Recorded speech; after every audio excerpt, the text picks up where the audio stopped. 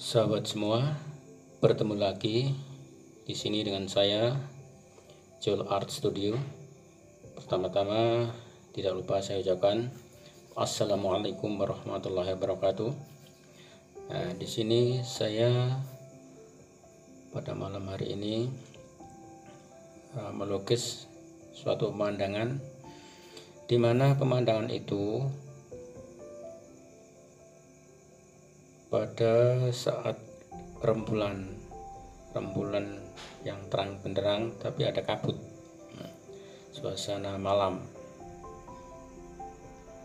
Kalau sahabat semua melihat pada suasana malam ya tidak begini amat lah.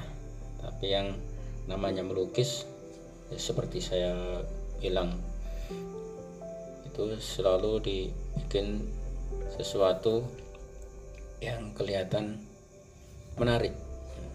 Kalau melukis sesuai apa adanya biasanya kurang menarik. Ini warna-warna juga ditonjolkan gitu. Sebetulnya warnanya nggak terlalu secerah ini ya.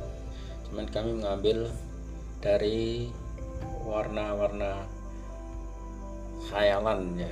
Khayalan pada malam hari itu bagaimana kita merenung ya, di pepohonan dan gunung. Ada rembulan yang bersinar ya, temaram terus di pinggir telaga ada sungai-sungai.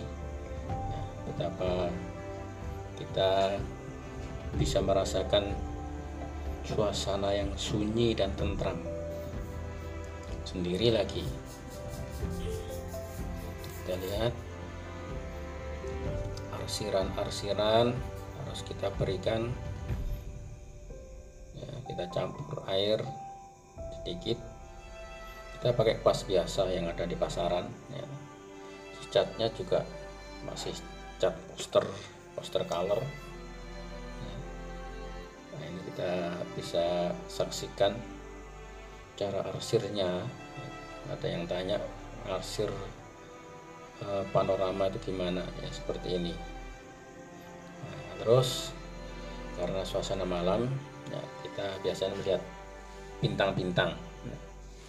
Nah, untuk action bintang-bintang nah, kita ambil cat warna putih ya, atau abu itu abu muda. Nah, kita ciprat-cipratkan seperti ini supaya terkesan seperti bintang-bintang yang bertaburan. Setelah itu kita menuliskan gunung. Biasa aja lukisan ini kan nggak ada istimewanya. Cuman saya mengajak belajar eh, semoga adik-adik pemula yang suka melukis bisa mengikuti cara-cara yang saya berikan. Kalau yang sangat detail ya sulit sekali ya bagi pemula itu sangat sulit.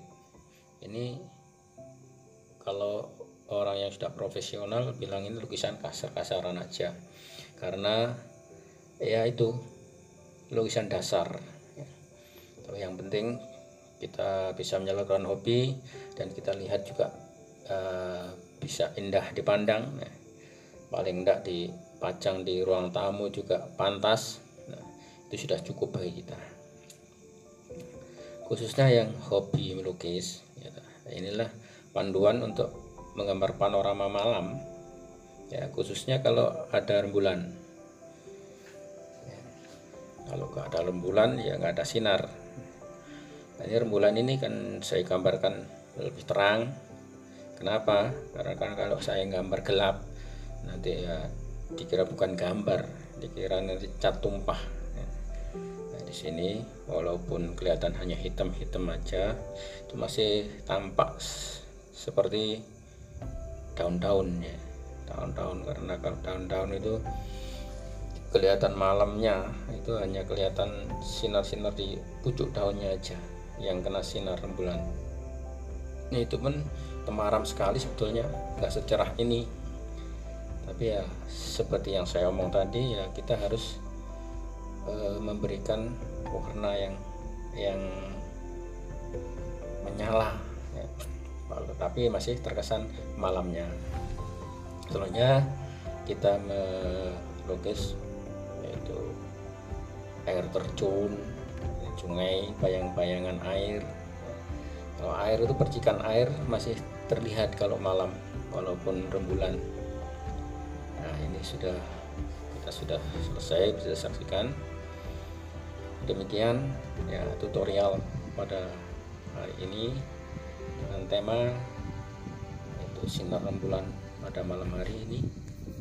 Sinar bulan pada malam hari di pinggir telaga. Semoga bermanfaat. Dan kalau sahabat semua berkenan suka jangan lupa buat subscribe-nya ya. terus kalau bisa nyalakan tombol lonceng agar setiap saya berkarya setiap saya upload video anda akan menyaksikan untuk pertama kalinya. Terima kasih.